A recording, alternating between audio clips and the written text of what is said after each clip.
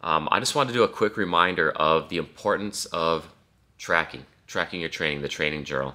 I actually, I'm just going to look at a Facebook post that I made on this, and then I'm going to read a couple of replies um, from some friends. So, if there's one simple change that so many people can make to improve their progress, it would be for them to log their weights and have a plan on how to make progress with them. Having a log of weights and a plan for progression, it will give you more progress than winging it in the gym. And that's just a fact. Um, so let's get into a couple of these replies here. So Brian L, he says 100% logging sessions is one of the primary differentiators between exercising and training. And Brian, I think you're 100% right. You know, exercising is great.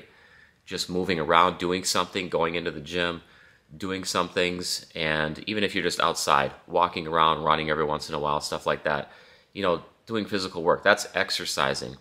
And that's there's nothing wrong with that. It's positive, it's helpful. But there's the next level of that, and that's training.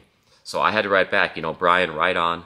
Essentially, it will make anyone eventually train if they keep that log and keep a focus on moving up or progressive overload, just making progression. And I think there's some realism to that because no matter where you start, no matter what you're doing in the gym, if you start off, if you train, if you log your training sessions, actually, I should have said if you start off exercising, but you log your training sessions and you log your numbers, and you have that you know little voice in the back of your head that says, okay, I got to make some progress. I'm going to make some progress. So you're eventually going to move your numbers up because you have that voice in your head telling you, I'm going to make some progress. You eventually get to the point where you're training. You're no longer exercising, you're actually making focused progress, and you're doing it because you're able to track your numbers. So, Brian, I think you're totally right. And like I said, journaling with a focus on progression, it's going to make anyone transition from exercising to training.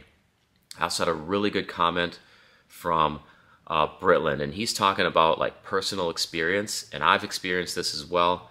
So he says, I can't agree with this enough. I got sort of lazy in 2022 and early 2023 about logging my weights, thinking my intuition was good enough. That's actually a big mistake, and I'm glad that he's admitting that here. So he says, I started logging in August of 2023, focused really hard on adding at least five pounds to one exercise a week if I could. Since August, eight of my lifts are up 30 pounds or more, Probably not because I actually added that much strength, but because I was selling myself short before I was tracking. Massive difference, he says. The training journal is definitely going to get you to push yourself because if you complete your numbers one day and you look back and you're focused on progression, you're going to move up. And that is the push. Like, that's pushing yourself right there. Without the training journal, you would have been like, I'm not really sure what I did last time. This feels tough enough today. And actually it could be less than what you did last time or it could be the same. But the point is, is that it's not more it's not training it's not pushing yourself. So you're totally right. And you know Britland my reply to you was I don't care who you are you're going to naturally backslide or stall in areas of training without tracking.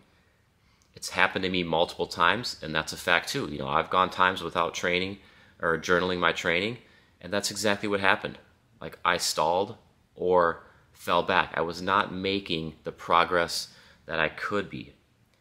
And then I said, it's just the nature of the activity. And Britland, awesome comment, by the way. And it is the nature of the activity.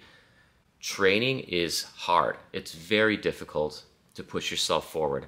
The nature of us, I think, as humans, is we want to we want to push, but we don't necessarily do it unless we're we're made to do it. And I think the training journal can really make you do it. So shout out to you.